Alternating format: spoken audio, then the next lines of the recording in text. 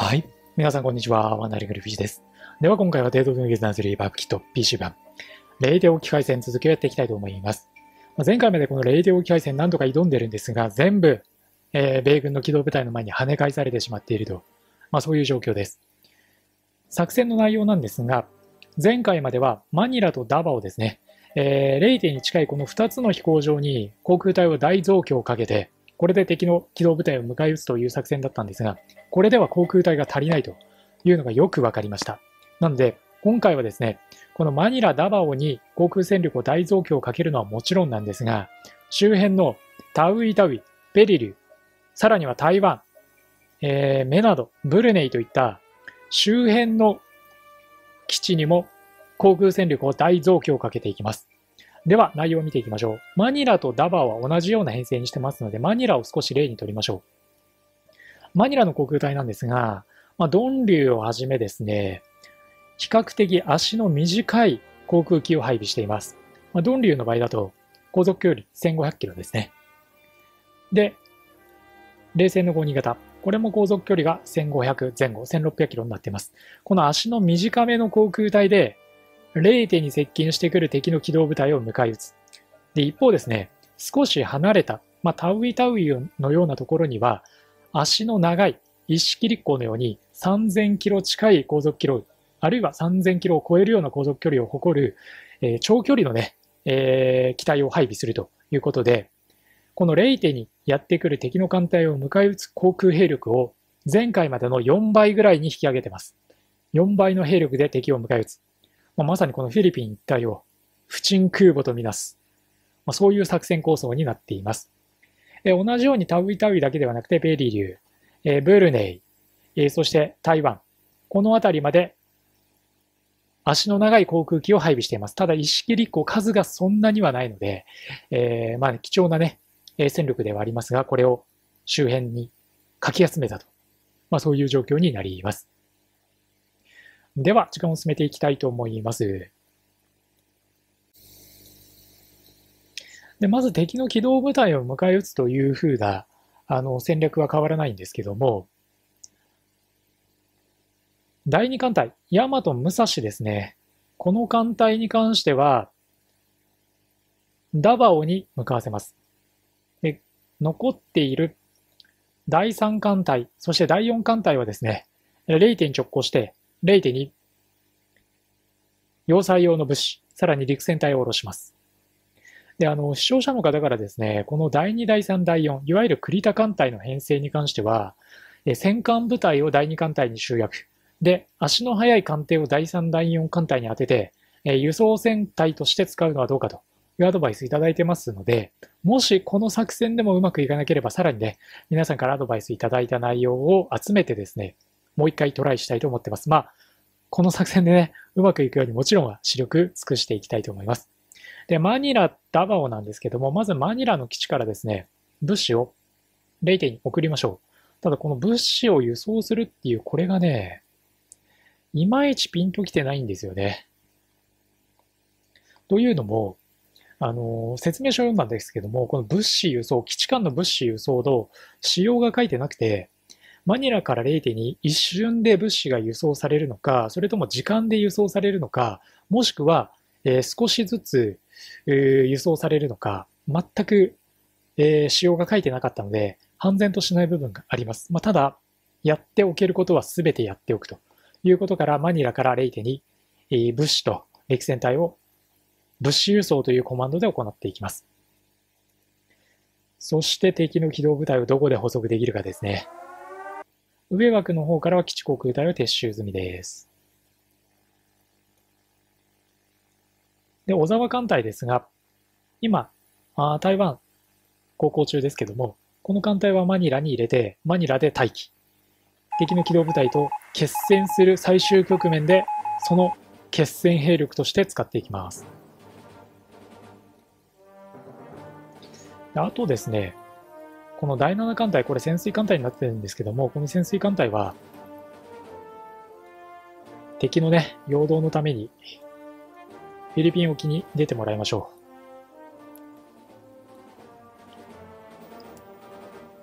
う。敵がこの潜水艦隊に引っ張られてくれれば、えー、レイティへの攻撃が少しでも遅くなると。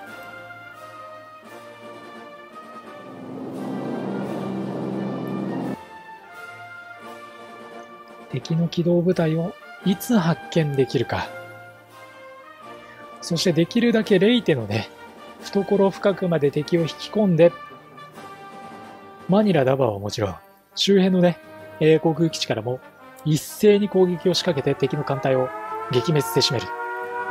いう話をしてるところで、まずレイテに敵航空隊接近の報告ですね。38機第1波。両サイド15削られるか。両サイドだいぶ削られたな。まあ、すかさず、少しでも、両サイド、リビルドしておきましょう。両サイドに関しては、あの、徐々にね、回復していく形になりますんで、物資が尽きるともうそこまでですね、リビルドできなくなりますから、注意しましょう。で、これ潜水艦隊見つけてますね。潜水艦隊は通りすがりに攻撃する程度でいいでしょう。まあ、あえてこれは追わずに0点に直行するというのを優先します。4隻撃沈、味方の駆逐艦、えー、2隻ほど中大破してます。が、もうこれは無視して0点直行。第54艦隊も無視して0点に直行します。第4艦隊も無視。小沢艦隊も無視。敵の潜水艦隊を無視という意味ですね。第2艦隊、大和武蔵の艦隊ですが、これは通りすがりに敵の潜水艦隊を砲撃していきます。これで2隻撃沈、残り7になってます。タブイタウはじめ基地航空隊は敵の機動部隊出現まで待機。50に専念します。こっから夜間になりますね。20時です。まあ、なんとかね、一筋の光だけでも見たい。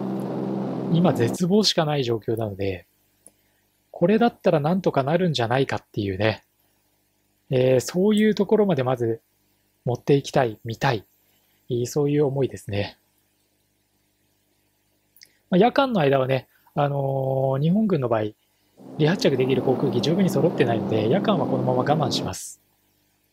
敵の機体が来ても我慢。これ今のところですね、提督の決断炎、大和特攻、棒の岬沖海戦よりも、ちょっと宿泊しちゃってるかなという感じがしますね。レイテの方に激戦隊補充できるようであれば補充します。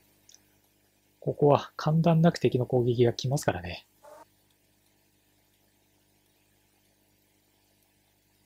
上枠はもう、このままね、えー、一度放棄せざるを得ないかなという状態です。第三艦隊、これも通りすがりに潜水艦を砲撃していきます。まあ、数をここで減らしておければというところですかね。レイテです。第七艦隊、これが今、陽動のためにフィリピン沖に向かっています。それとは別にレイテの基地ですね。マックスまで上げておく。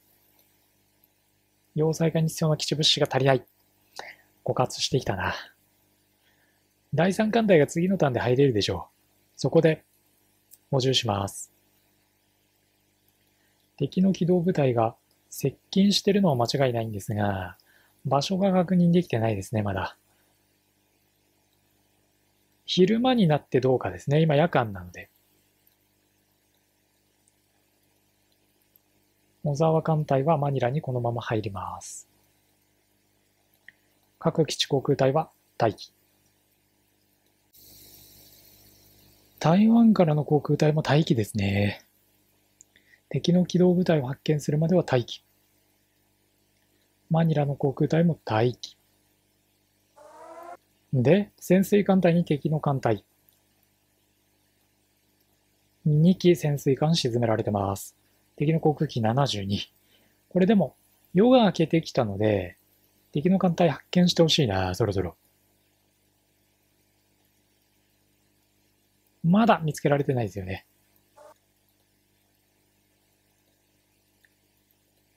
で、レイテの方は、守備隊を常にマックス値に持っていきます。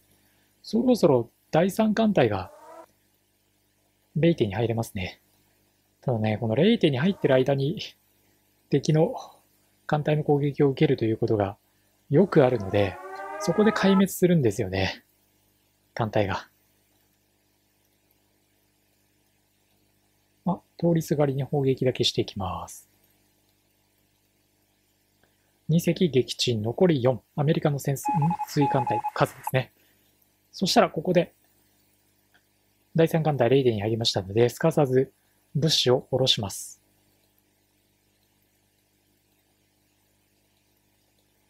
で、急速に離脱。マニラに戻って、物資を積んで戻ってきてもらいます。この繰り返しをしなきゃいけないんですが、この港にいる間に敵の航空隊の攻撃でこの艦隊がやられるんですよね。なので第2艦隊はあレイテではなくてダボに向かわせてます。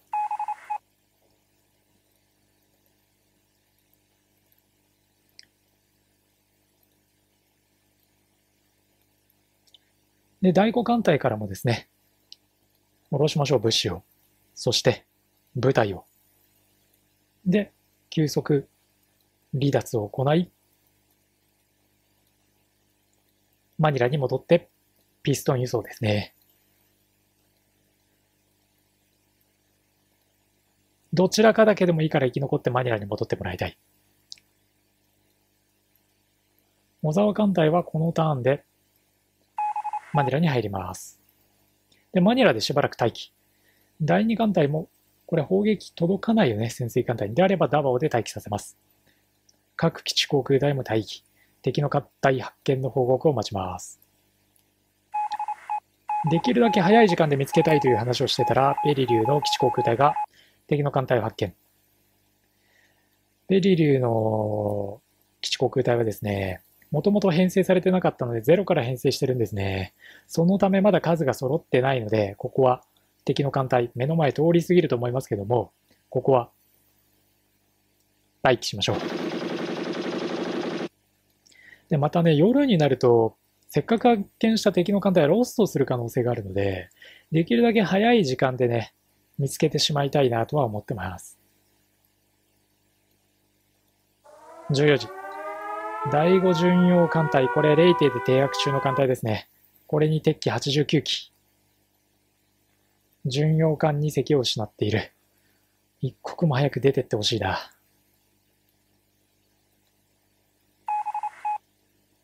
敵艦隊を発見。これだいぶ近いな。ん？いや、これ潜水艦隊ですね。近すぎると思ったけど、これは敵の艦隊で、潜水の艦隊ですね。これで上枠が、両サイドがゼロ。飛行場も失いました。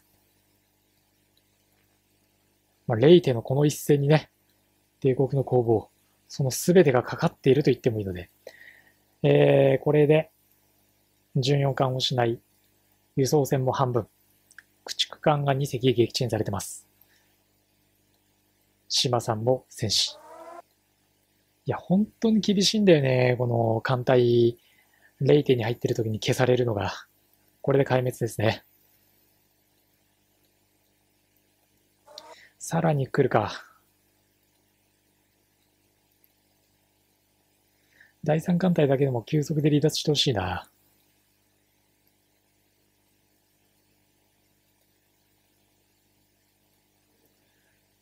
大和武蔵はダバオに入ります。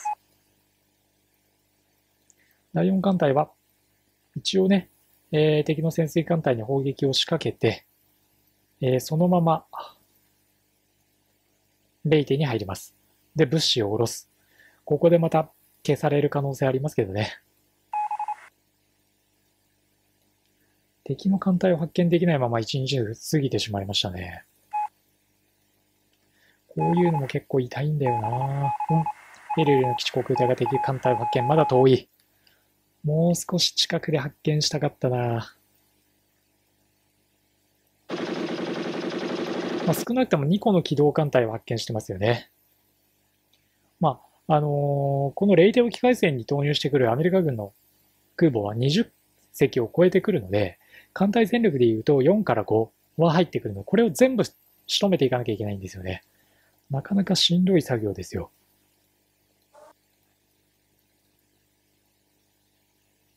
アメリカ軍の第9艦隊空母6。とりあえず夜が明けるまでは待機。我慢しましょう。で、第4艦隊が入りましたね。なので、ここで物資と陸戦隊を下ろします。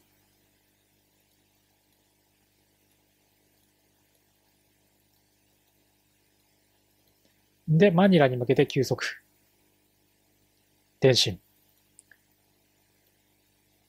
レイテとの間でピストン輸送に入ってもらいます。で、レイテの方も忘れずにですね、要塞化戻しましょう。陸戦隊もマックス値に戻す。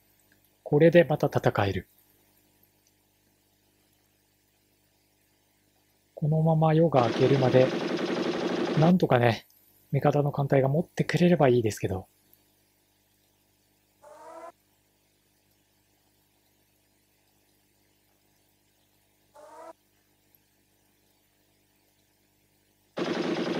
あとは、敵艦隊をそろそろレイテ沖で発見したいかな。アメリカ軍の第5艦隊、戦艦に空母4。かなり大きな艦隊ですね。アメリカ軍の第7艦隊、ここにも空母6。ここまで敵の機動部隊で言うと5、7、9を確認してます。ただ位置がいずれも割れていないので、夜も明けたことで敵の艦隊を発見したい。敵の艦隊発見。これはただおそらくですね、どうだろうな。222機出れるけど、潜水艦隊だと思うんですよね。この潜水艦隊のため222機出すのはもったいないよな。作戦を中止します。敵の艦隊を発見するまでは我慢。潜水艦が残り1。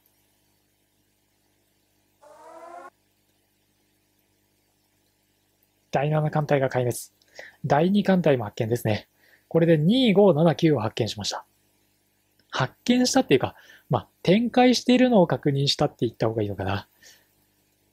ここわからないんだよな潜水艦隊だと思うんだけど、ちょっと手が出しづらい状態ですよね。これは間違いなく敵の艦隊だ。ダバオの基地航空隊から攻撃隊を出しましょう。数が128。このうち、偵察機は出す必要がないので、偵察機は0。112機を出します。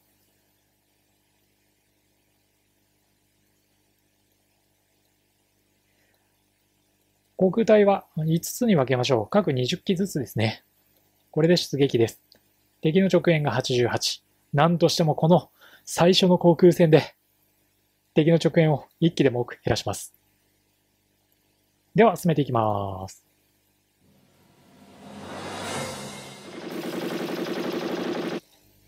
はい。えー、敵の直縁の前に、味方の航空隊がまたも壊滅するっていうね。いや、本当に強いですね、アメリカ軍。まあ、ただまだまだ戦いが始まったばかりですからね。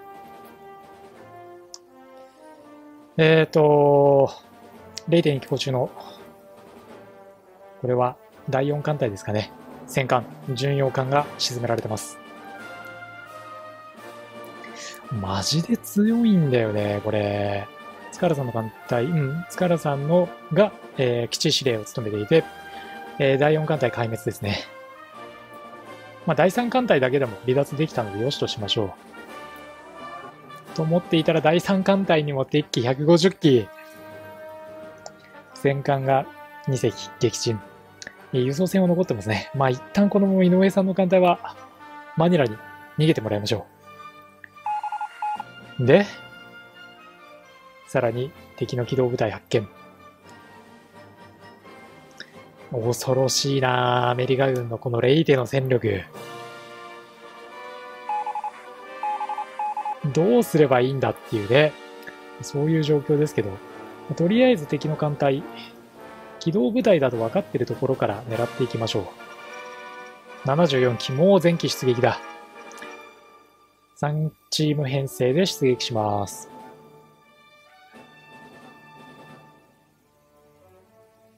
はい。えー、これで敵の直縁19を撃墜してますが、味方35機失ってます。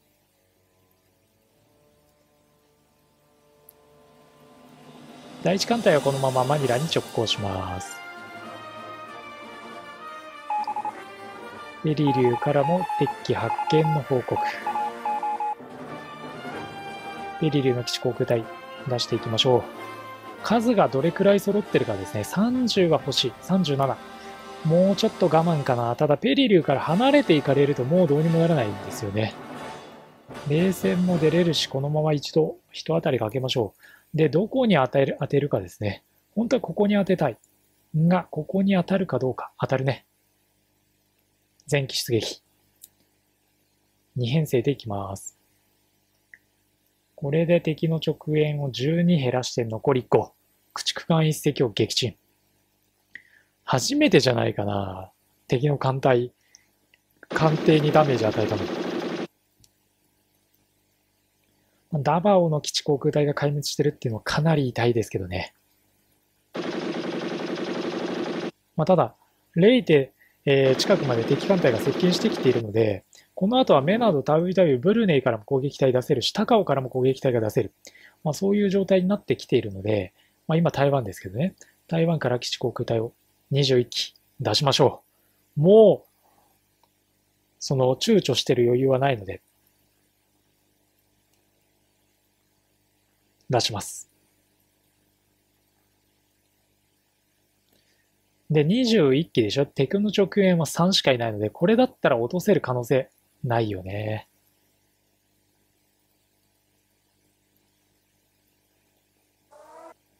何？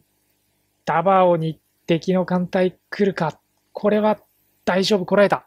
戦艦部隊もこちょっと危ないな。ヤマト、武蔵どうする？発見されてしまってる以上、なんとかしないといけないよね。出撃するか。目などから基地航空隊出します。まあ3チーム編成でいいでしょう。これで、敵の艦隊、潰す。輸送船を4隻撃沈。えー、揚陸隊、それに伴い4師団撃退、撃滅してます。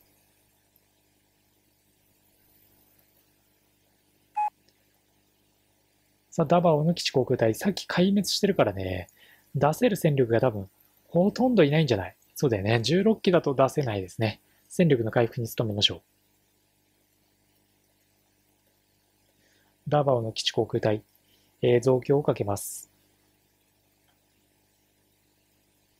この辺りの配備数を少しずつ増やして、えー、また来たるべき後期に備えるというところですかね。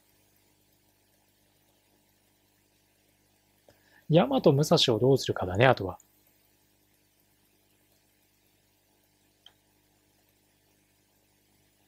大和武蔵。ダバオに入っているこの艦隊。突入させるか。ちょっとまだ早い気はするけど、ここにいてももう発見されてしまってるので、一方的に攻撃を受けるだけであれば、敵艦隊撃滅のために出撃しましょう。ただし、小沢艦隊はまだこのまま待機させます。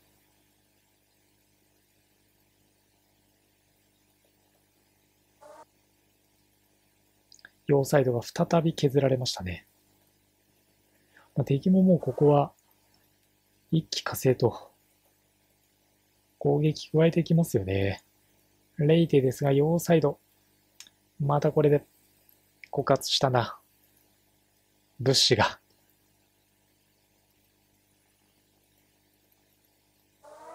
なんとかね、こらえてほしいなっていうところですけどね。第三艦隊はこのままマニラに入ります。マニラに入ったら、マニラで主に物資ですよね、やっぱり物資。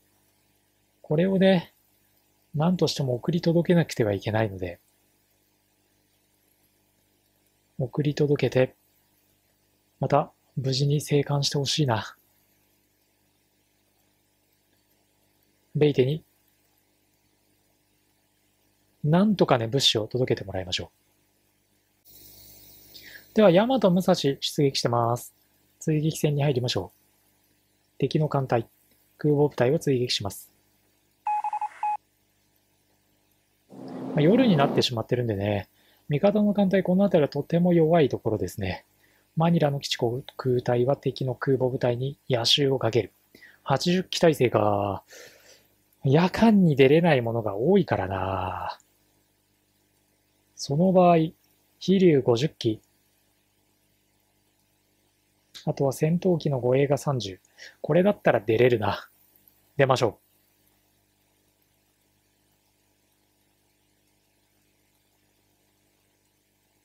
味方56機損失か。敵の直縁120とかだもんな。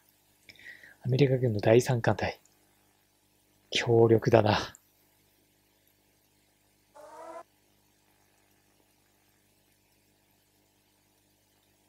さて、レイテの方ですが、一応要塞度がゼロなので、守備隊のダメージが蓄積してきてますね。ダバオの基地航空隊はまだ無理だよ。さっき壊滅してるので、ここに攻撃する余力がないですね。残念ながら。夜が明けるのをまずは待ちましょう。まずい。基地の守備隊が 先に壊滅するぞ、これ。レイテの方の守備隊がちょっと数が足りなくなってるな。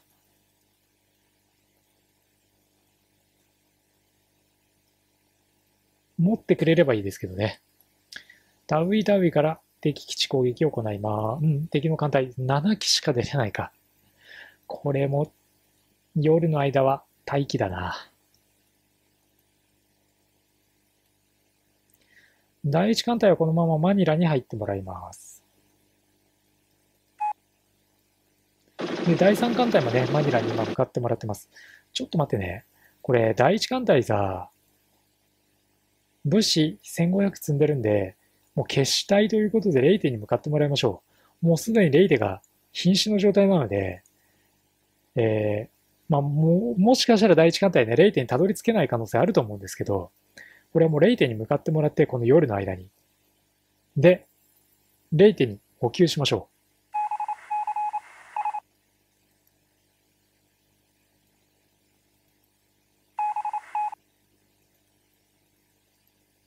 さあ、夜が明けてどうか。小沢艦隊はまだここで待機中。さあ、砲撃戦挑みます。レイデに完全に横付けされてるからな。上陸作戦が始まってる状態ですよね、いわば。では台湾から攻撃隊を出します。レイテです。21機。全部出す。21機全部壊滅する。まあ、そうだよな。いや、なかなか厳しい戦いですよね。えー、アメリカ軍の方ですが、艦隊戦に入ります。ここで初めて敵の空母一隻を撃沈。ヤマトさすがよ。後でヤマトの被害状況は確認しましょう。マニラの基地航空隊、これは今のところまだね、健在の戦力なので、ここで敵を、もうね、偵察機も含めて全機出しましょう。この一戦にかかっていると言ってもいい。では、航空戦。アメリカ軍の空母5、戦艦2の艦隊に向けて184機。敵の直縁は4。これならいける。はい。えー、敵の空母1隻を撃沈。直縁4機いましたね。味方の方の損害が3機です。マニラの基地航空隊は戦えるな。まだまだ。で、ポートモレスビーには敵の艦隊。これは？航空機48、オーストラリア軍の艦隊ですね。ラバウルの基地航空隊、なんとか持ちこたえてほしいかな。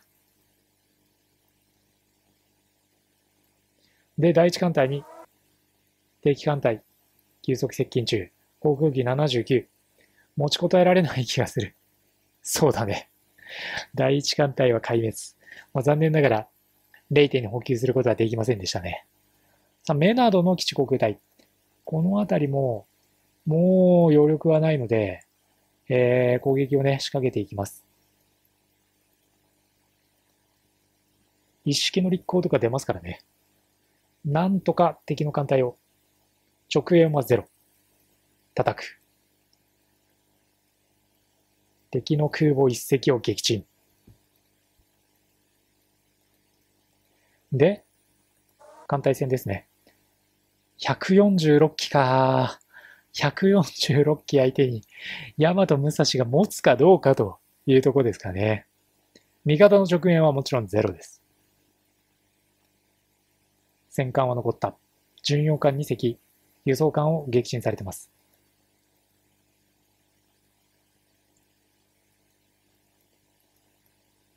トラックの方にもグアムから航空隊がやってくるか。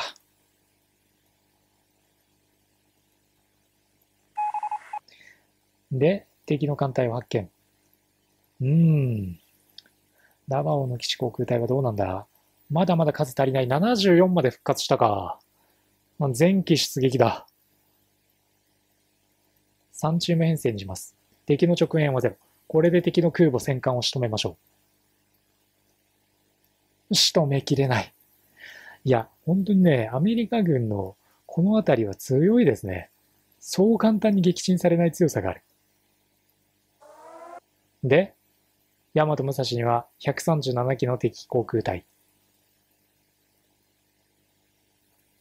武蔵大和は残ったが、駆逐艦1隻を撃沈され、輸送船を6隻失ってます。この辺りは本当に厳しい戦い続くね。大和武蔵が、なんとかこらえてくれてるっていう感じはするけど、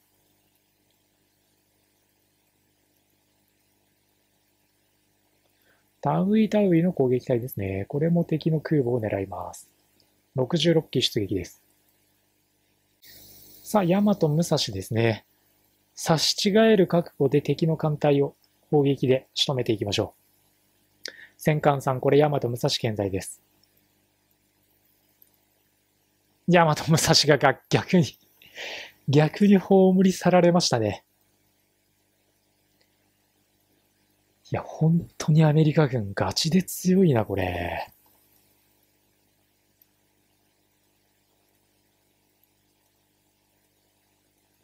マニラの基地航空隊はね、まだまだ戦える戦力持ってますからね。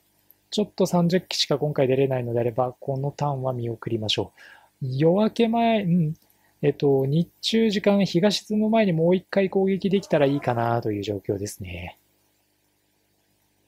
メナノの基地航空隊もどうだろう。戦力的には7機だと出るだけ無駄ですね。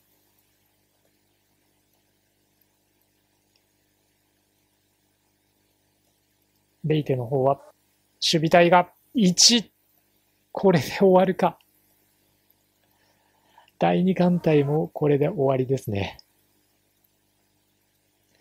まあ、第2艦隊も大和武蔵失ったら、まあ厳しいかなっていうね、感じはしますけど、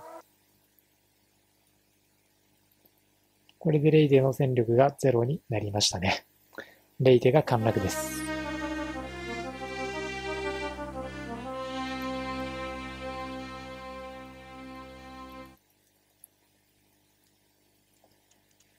いや、悔しいな。